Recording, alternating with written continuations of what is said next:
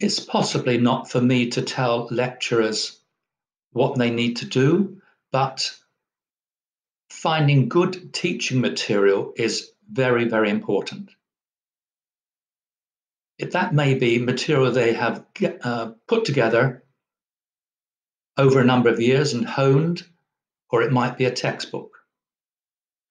But the crux of a relationship between a lecturer and student is good teaching material. Besides the lecture and the availability of that lecture, there is much more that a student needs and a lecturer needs to provide. In particular, with engineering and mathematics, it's very important that students have a source of worked examples. They can see how examples are worked, the formulae that are used, and the units that are used. It's important that they can see a lot of these for themselves and then to have available a number of extra questions for them to try for themselves with the answers given. So that's quite a lot of extra material that a lecturer needs to provide. If they can provide some multiple choice questions as well, so much the better then it's our job as lecturers to guide the pace of learning. We should always be available. We should also be approachable for help.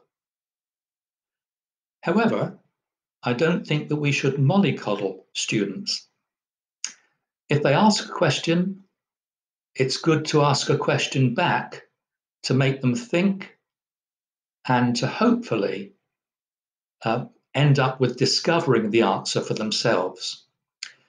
Thinking is rather important for engineers. When they pass their exams and get their qualifications, that's just the start of producing an engineer.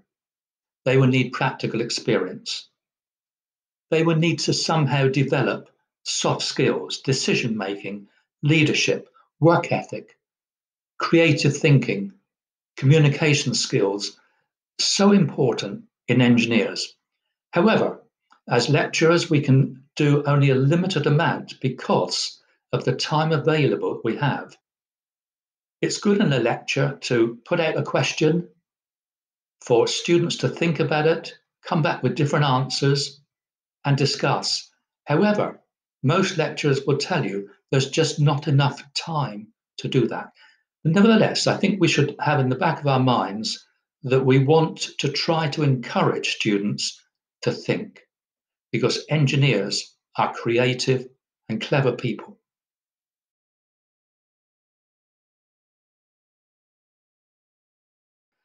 I suppose initially algebra is thought to be a problem. In engineering, solving simple equations, quadratic equations, simultaneous equations are needed in engineering. And there are a plethora of equations that need transposing. This is algebra in action. Civil engineers use algebra to design and analyze load-bearing structures, like bridges. Mechanical engineers use algebra to design and analyze suspension systems. Electrical engineers use algebra to design and analyze electrical circuits algebra may not have been a favorite subject at school, but now it will not be a problem because we're using it in a practical way. Trigonometry has often been a problem for students, but there are so many uses of trigonometry in engineering. It's used in navigation, in optics, in medical imaging with CAT scans, in architecture, in astronomy, and so much more. A surveyor might want to calculate the height of a tall building, 100 meters away, say. If he has an instrument called a theodolite, then he can find the angle of elevation and, using trigonometry, calculate the height of the building. Someone who is designing roof trusses and spans, it's all about triangles. So a knowledge of trigonometry is needed. Trigonometry is not difficult when a practical situation is explained and students usually manage. Calculus is an area that is a higher skill, but engineers often have to analyze quantities that are varying. Although calculus is a difficult topic initially, it becomes an application of algebra. Calculus is needed to find the stresses in loaded beams, the temperature of an industrial chemical, the current in an electrical circuit, the torque on a turbine blade. These are all applications in engineering of calculus. If I was a manufacturer, manufacturing rectangular boxes, either in cardboard or metal, given a particular cross-sectional area of material, I would need calculus to determine the maximum volume that I could produce from that material. And calculus is needed for that. Calculus is needed to find areas and volumes and centroids and second moments of areas. All those are used in engineering. And after that, calculus provides the basis for higher level studies in differential equations, Laplace transforms, and Fourier series. So, what I'm saying is, once you learn algebra and trigonometry, you build on it bit by bit. So, we can't forget it, but these then become more straightforward. So, they may initially be thought of as difficult topics but students manage as soon as you put it into a practical context.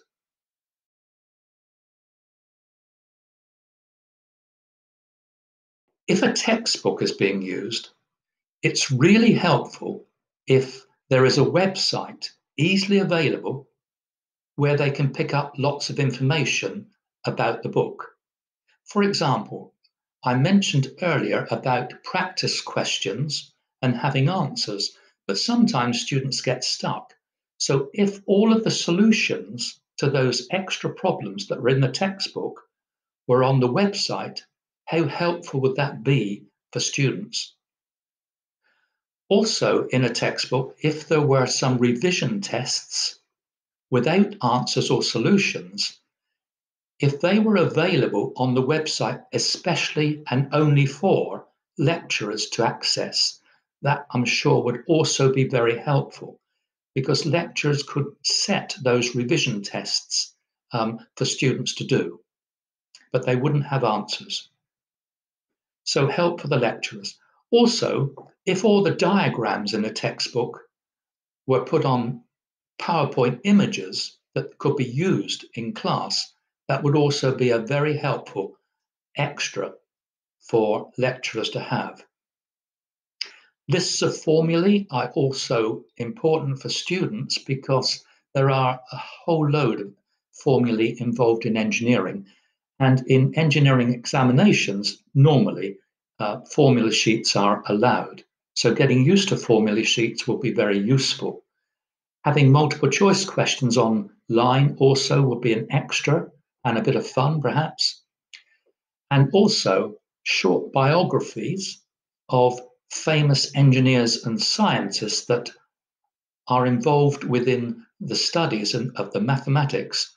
For example, knowing a little bit about Sir Isaac Newton or Pythagoras or Leibniz or Poisson or Fourier or Laplace, just a little bit of background could make it just a little bit more interesting for the student. I realize you can get this on Google anyway, but if it's there on the website, there is interest there in the background to the mathematics.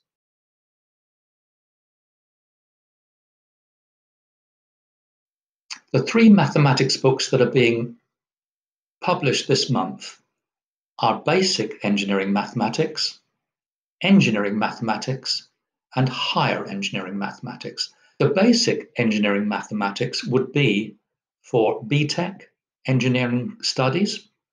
The engineering mathematics would be for Higher Engineering Studies, HNC, Higher National Diploma, and the Higher Engineering mathematics book would be for degree courses.